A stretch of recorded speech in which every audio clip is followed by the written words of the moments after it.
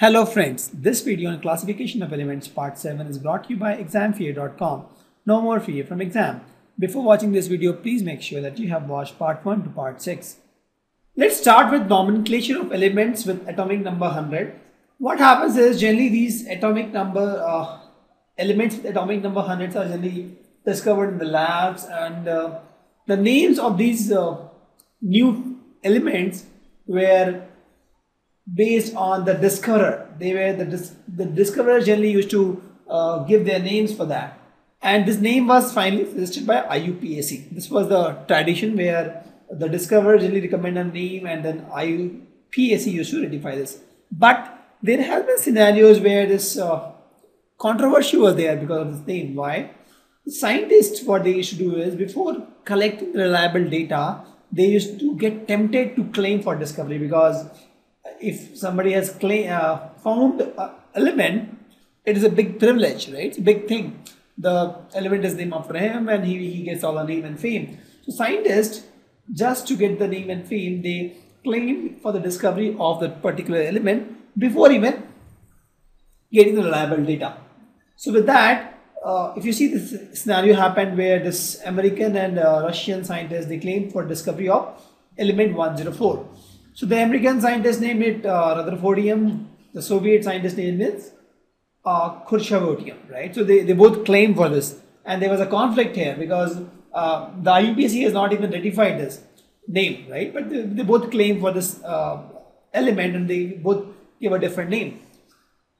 So all this created confusion, right? To avoid such pro problem, what this IUPAC did was, it said that uh, until until the new element discovery is proved and ratified by IUPAC, right? What you should do is the, the scientist who has found this new element should use a proper naming convention given by IUPAC to name it. And once it is approved by uh, the IUPAC group or IUPAC panel, it gets the name, right?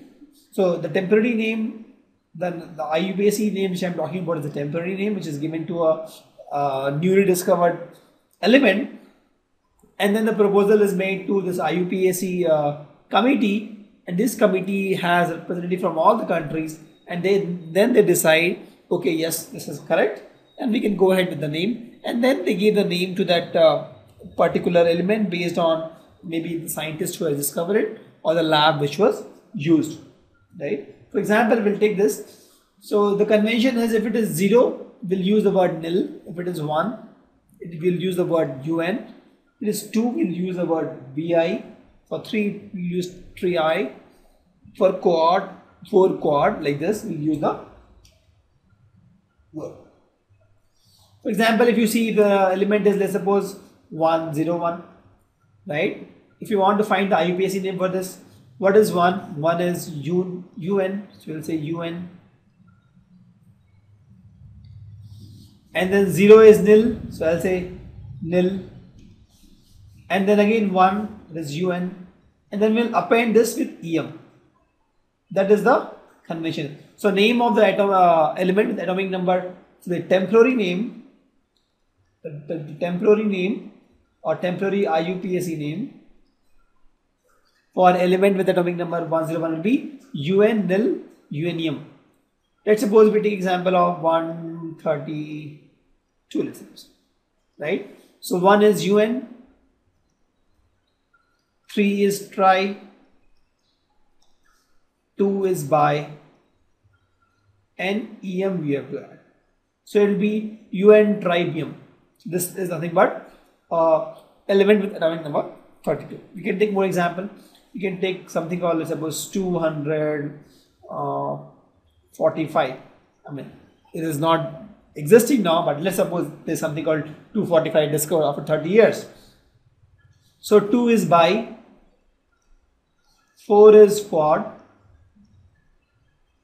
5 is pent and then we'll append this word en. So the name will be bi quad pentium right? Everything will be together actually bi quad pentium. So this is the way of IUPAC nomenclature right 0 is nil 1 is uh, un 2 is bi, 3 is tri. Uni, uni means one, right? Unicode. So from that only UN has come. Quad, pent, hex, sept, opt.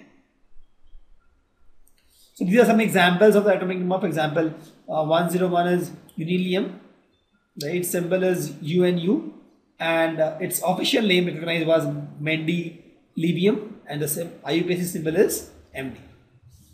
So the one with dot uh, star actually, the one with star is something whose IUPAC name is not yet announced and the one is plus is something which is not yet discovered. So if you see this guy, for example, 112, its name will be UN, UN by M, right? UN, UN by M. And it is uh, symbol will be UUB, correct? And I uh, for this the official name is not yet uh, recognized. This symbol is also not yet recognized. And for for see 113, it is not even discovered. Right? It's not even discovered. So this is a list of uh, atomic. Uh, this is the table which has uh, the elements with atomic number more than 1, 0, 0, more than 100.